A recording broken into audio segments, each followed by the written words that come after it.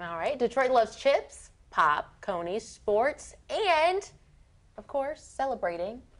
all With things. beer. With beer. Yes, yes, yes, yes. It's our favorite thing to do. The Detroit Beer Company is here today because we're celebrating 20 years of brewing.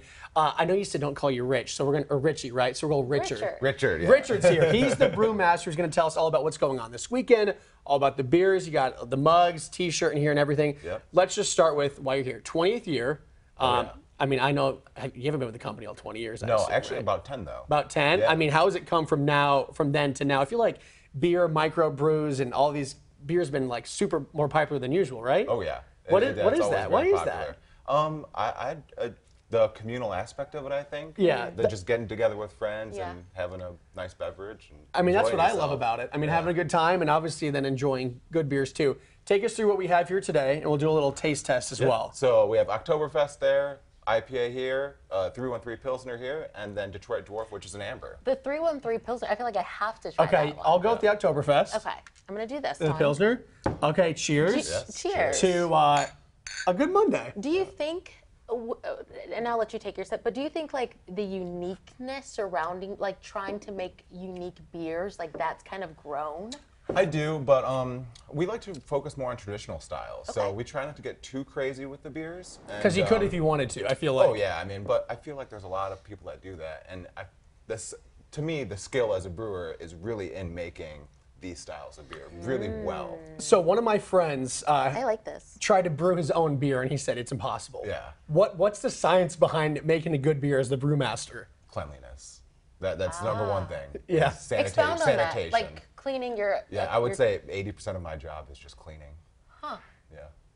I mean, how many brewmasters are there for Detroit Bre- Beer Oh. Company? Just one, just me. It's literally Yeah, just you. Yeah, I, do- I, I do everything myself there. Wow. And I don't. I'm not sure. I mean, you guys, do you sell locally too, or do you can you only buy from? Yeah, so we're a brew pub, so Okay. we only sell on site. Sure. But that means we have a little bit other things too. So for the anniversary party that we have on Saturday, we actually have a full bar as well. So wine, cocktails, we have craft cocktail, uh, Okay. a list and everything like What that. about food? Oh yeah, full restaurant. We saw too. the Yeah, video of the food, great. and that food was looking good. The food did look so good. Yeah. Obviously, you were on about 20, 30 minutes ago.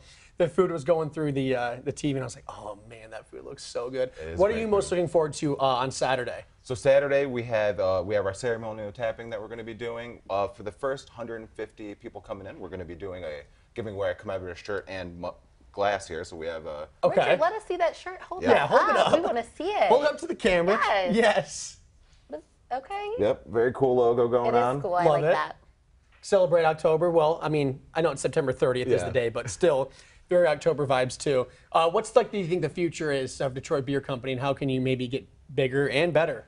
Um, so we're pretty restricted on our size Sure. and everything. Um, so expansion has never really been in the, the books for us. Okay. Um, Okay. It's more about just maintaining the great quality beer that Yeah. we're brewing and making, uh, you know, having people come out and enjoy it. You want to do what you do and do it well. Oh, exactly. Nothing exactly, wrong with that. And you said you want to stop by. Yeah, I'm stopping by. I'm, Yeah. I mean, I'm gonna. I'm not gonna finish this, but maybe maybe. I will. I don't know. But I know Saturday it's all day, right? It's all What day time do you guys open Saturday? 11. Yeah. Okay, Richard, is there a beer you're most proud of, or you don't have a favorite? Oh, I have favorites. Okay. And it is a 313 Pilsner right now. See? Did you drink it? Yes, What do? I like it. I really like it. I lived in Wisconsin for four years, so that's how I got turned on to like beer. Before that, I think was like Wisconsin drinks the most beer, right? Probably. I think so. Right. All right. Thank you very much again, Richard with Detroit Beer Company. Uh, if you guys uh, want to come out for the 20th anniversary, that's this Saturday. And for more information on the celebration, head to our website, cbsnewsdetroit.com. Right.